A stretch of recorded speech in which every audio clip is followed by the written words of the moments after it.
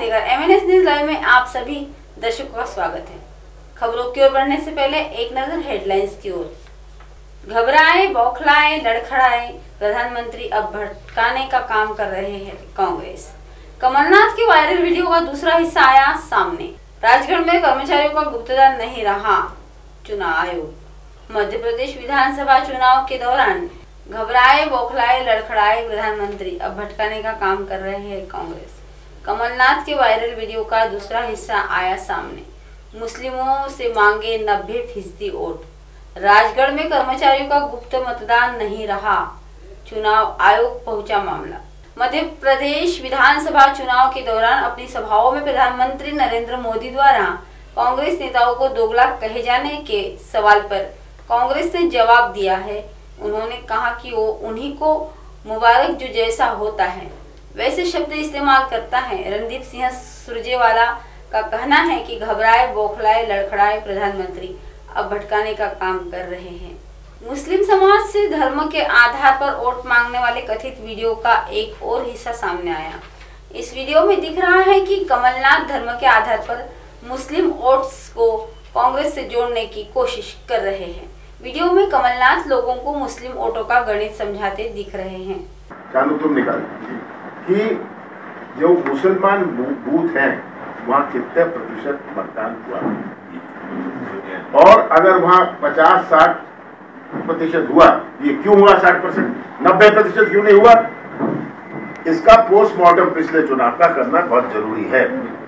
आप कहें, हम करा देंगे अस्सी, नब्बे प्रतिशत। आज मुसलमान समाज की अगर नब्बे प्रतिशत वोट नहीं पड़े तो हमें बहुत बड़ा नुकसान हो सकता है। आप तो अस्सी की बात कर रहे हो, मैं तो नब्बे की बात कर रहा हूँ। और हमारे सामने आंकड़े हैं। ये आज सब आंकड़े हैं कि आप जानते हैं कि आपके यहाँ कौन से मोहल्ले में, अगर तुम्हारी नगर पालिका क्षेत्र में, मैं उदाहरण के रूप में कह रहा हूँ, तुम जानते हो कहा मुसलमान बूथ है। वहाँ उस बूथ में कितने प्रतिशत मतदान हुआ? अगर वहाँ मतदान हुआ है साठ परसेंट तो कोई कारण होगा कोई बड़ा कारण होगा? क्या कारण था? आज इनके आरएसएस वोटर क्या कर रहा है? आरएसएस के जो कार्यकर्ता क्या कह रहे आप मुझे जानकारी आरएसएस के जो लोग इन्होंने फैलाए हुए हैं, मैं तो छिंदवाड़ा की बात करूँ, मुझे तो लोग आके बता देते हैं। उनके आरएसएस क्योंकि नागपुर से जुड़ा हुआ है, वहाँ तो उनके लिए सुबह आओ, रात को चले जाओ, और बड़ा आसान है। वो उनका एक ही स्लोगन है अगर हिंदू को वोट देनी है तो हिंदू शेर मोदी को वोट दो। अगर मुसलमान को वोट देनी है, कांग्रेस को वोट दो। केवल दो लाइन, और कोई पाठ पढ़ाने नहीं जाते।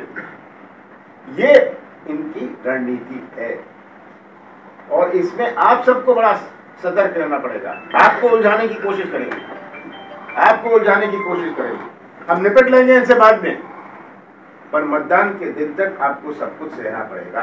विधानसभा चुनाव में ड्यूटी पर तैनात किए गए सरकारी कर्मचारियों के मतदान की प्रक्रिया सोमवार से शुरू हो गई है लेकिन राजगढ़ ज़िले में ये प्रक्रिया विवादों में घिर गई है।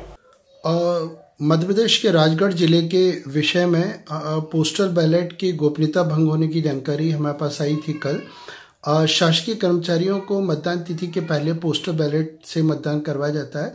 और इस जो सूची थी जिसकी गोपनीयता बरकरार रखनी थी उस सूची को जहाँ ये पोस्टल बैलेट हो रहा था, उसके द्वार पे लगवा दिया गया था और वही जो कोड नंबर द्वार पे लगा हुआ था, वही पोस्टल बैलेट के लिफाफे में लगा हुआ था। इस विषय पे हमने निर्वाचन आयोग को शिकायत करी और अभी मेरे पास मेल आया है कि निर्वाचन आयोग ने राजगढ़ कलेक्टर से तलब करी है रिपोर्ट कि पोस्टल बैलेट की जो गोपनीयता भंग हुई है, वो कैसे और उस पूरे विषय पे जानकारी। हम राजगढ़ कलेक्टर को हटाने की मांग करते हैं और इस विषय पर अन्य जो और दोषी कर्मचारी उनके विरुद्ध भी कार्रवाई की मांग करते हैं। तो खबरों में आज के लिए इतना ही। M N S news live की खबरें देखने के लिए आज ही प्ले स्टोर से M N S Hindi app download करें और हमारे चैनल को सब्सक्राइब करें। तब तक के लिए नमस्कार।